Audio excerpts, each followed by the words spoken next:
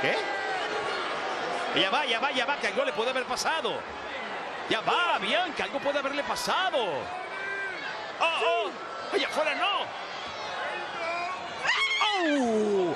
Le metió los ojos hasta el cerebelo.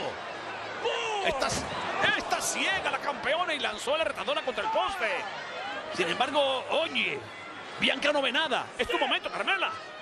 Ojo, ella se iba a ir y la campeona la fue a buscar. Ay, ay, ay, ay, ay, ay, ay, ay, ay, ay, ay. Y entonces. Nah. Ganó Carmela, pero así no se, no se gana el título. Por conteo fuera, la ganadora es Carmela. No puede ser. No puede ser. Es lo que creo que está pasando. Bueno, eh, sería lo correcto. Honestamente sería lo correcto puesto que ella ganó el combate.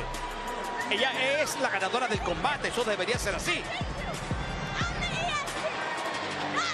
Además, no usa muy con el título eh, lo más alto. Es de ella, insiste ella. Y también es de ella el impacto de Bianca.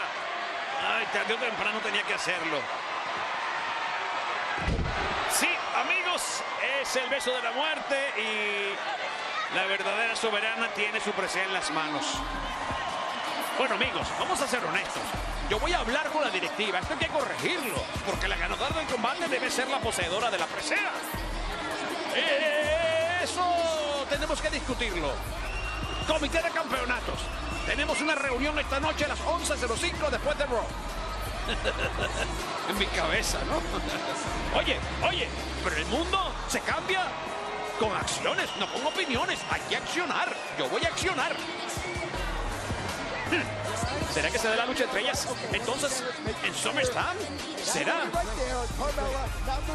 Carmela no es la campeona de Raw. Bianca Belair todavía era la campeona Raw. Siéntate, Cody. Mira, Saxton anda a hablar como un Espantapájaro, ¡En el Granero.